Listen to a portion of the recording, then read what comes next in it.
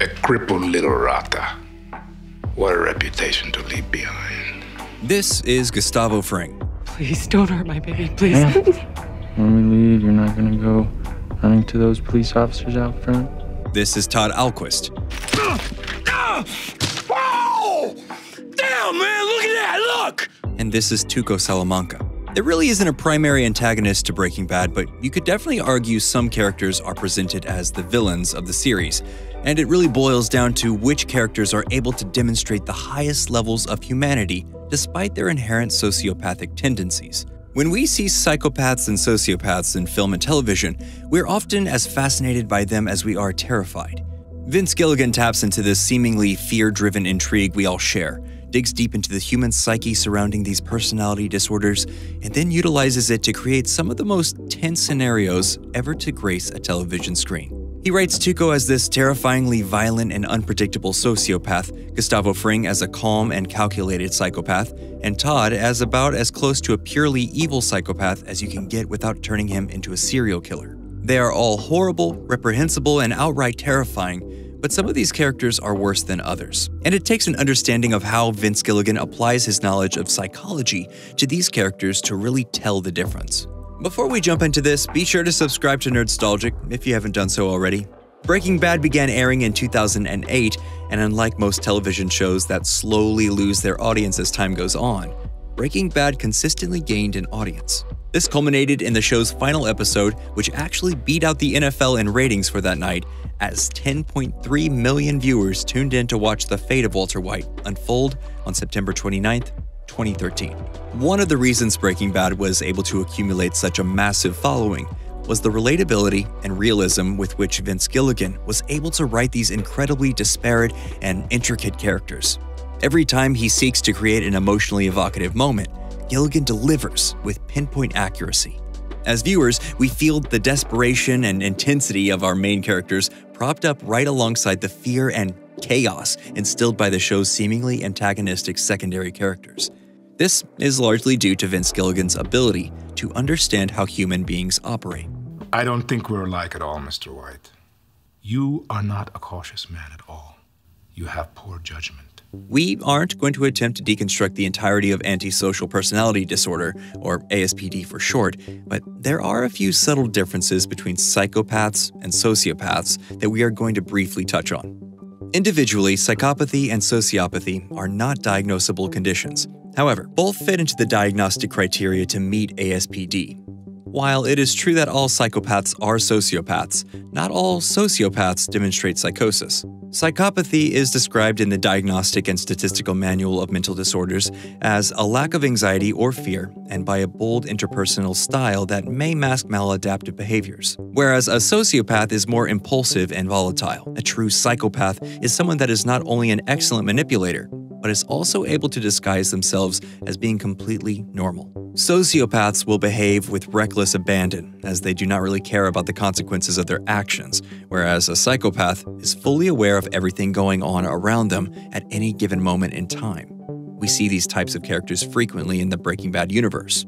The first of these big secondary characters we are introduced to is Tuco Salamanca, and it's quite the introduction. Ah, tight, tight, tight, yeah! Ah, blue, yellow, pink. Whatever, man, just keep bringing me that. In the sixth episode of season one titled Crazy Handful of Nothing, Tuco spends the majority of his introduction beating Jesse Pinkman into a medically induced coma just to prove a point. This cements him in our minds as being an unpredictably dangerous sociopath. Tuco Salamanca is chaos dialed up to 11, and it's the first time Walt is introduced to the dangers of dealing with a cartel. With Tuco, Vince Gilligan utilizes not only sociopathy, but also a somewhat rare mental disorder called intermittent explosive disorder, which is defined as recurrent behavioral outbursts representing a failure to control aggressive impulses. Gilligan created a character that can turn from your friendly neighborhood methamphetamine wholesaler into a bloodthirsty nutcase at the drop of a dime, and is very reminiscent of Joe Pesci's early 90s mobster characters. Heisenberg says, relax. Orale, Holmes. I'm relaxed. I'm relaxed. He even goes as far as to insult a man who is dying from one of his beatings. All of this unpredictability and rage puts us as viewers on the edge of our seat whenever Tuco is on the screen.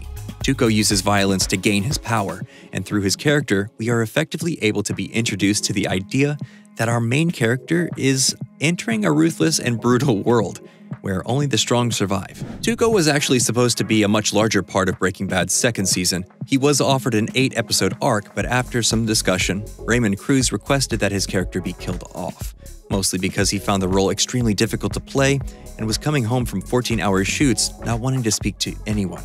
This prompted Vince Gilligan to create a new antagonist for Walt and Jesse. Only this time, he'd swing the ASPD pendulum into the realm of true psychopathy. He would create a character who was terrifying through a veneer of cold, calm, and quiet calculation in Gustavo Fring.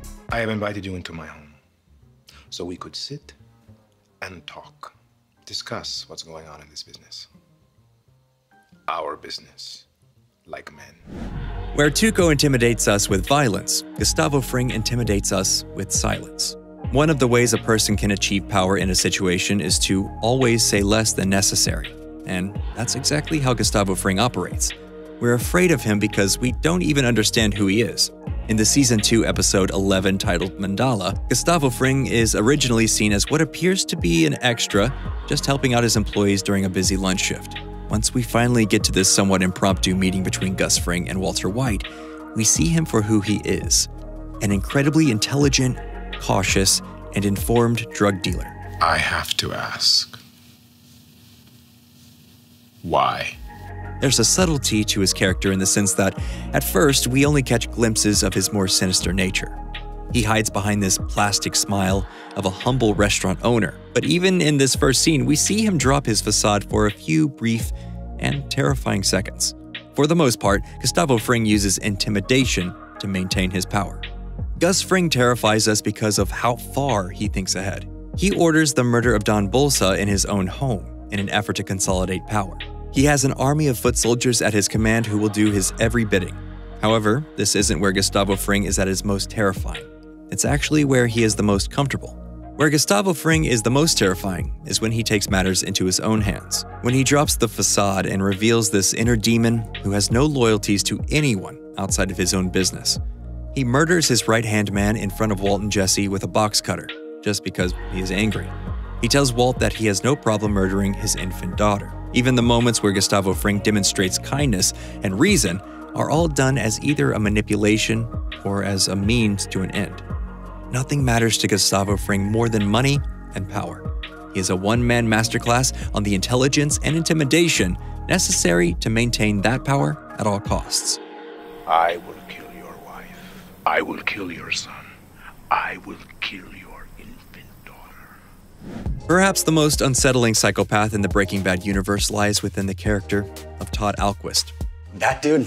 Whack job! Let's just stick to the facts here. Facts? Oh, okay. Uh, how about the fact that he shot a kid? Todd is introduced to us as just this kind of seemingly polite pest control worker. There's a, a nanny cam in the living room clock. I disabled it. I just thought you should know. However, that facade is quickly dropped in the episode titled Dead Freight, in which Todd not only murders an innocent child without hesitation, he takes a trophy with him. He keeps the kid Spider. This is the same mentality hunters apply to wild game. Taking an innocent life is almost like a sport to him. Shit happens, huh? Todd Alquist isn't the most violent or calculated character on the show, but that is what makes him so terrifying.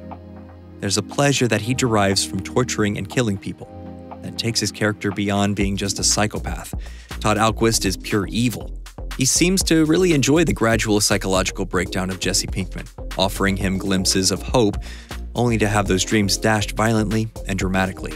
These moments were extrapolated upon in the film El Camino, where we really see Todd reveling in his torturous nature and just how much damage he did to Jesse Pinkman. Where Tuco Salamanca kills to intimidate and Gustavo Fring kills for power, Todd Alquist kills because he enjoys it.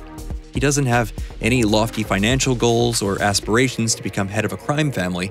He just exists to kill, torture, and cause harm, which makes him the most inhuman character of these three. Well, at the end of the day, it was him or us, and I chose us. and I would do it again. He is a true narcissistic nihilist. He cares for nothing. He exists for nothing. He believes in nothing. This makes him almost completely impossible to track as a character. We can't predict any of his behaviors because we have no idea as to what actually drives him. He isn't the strongest. He isn't the smartest.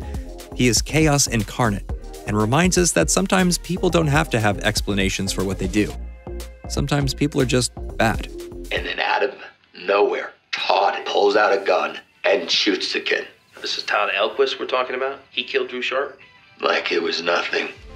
With Breaking Bad and the surrounding universe, Vince Gilligan draws us in time and time again with characters that represent some of the more fringe elements of human psychology and pitting them against the pursuit of money, power, and control. The absence of humanity presented within these characters reminds us what it means to be a person and how important empathy and compassion are in our day to day lives. Without empathy, human interaction becomes cold, unnerving, and cutthroat. A good writer will dig deep into the psychology of their characters to bring them to life and utilize the unpredictable nature of the human mind to drive the desired tension they seek to create. He needs an ambulance. He, he needs a hospital. Do something. You're smart, right? Do that, do that thing. These characters all have us, as viewers, invested in their individual stories. Each one of Gilligan's characters could be viewed as an essay of not only various psychological conditions, but also how these conditions developed and shaped these characters over time. When we approach character mentalities with honor and respect for the psychology behind them, we create characters that instantly deliver the intended message with pinpoint accuracy. Vince Gilligan understands psychology. He understands the subtle differences between sociopathy and psychopathy. And he understands how to play with all the variables in between. That's it for this week's episode. If we didn't completely destroy your faith in humanity here, feel free to click on one of the other videos if you want to stick around. And hey, thanks for watching Nerdstalgic.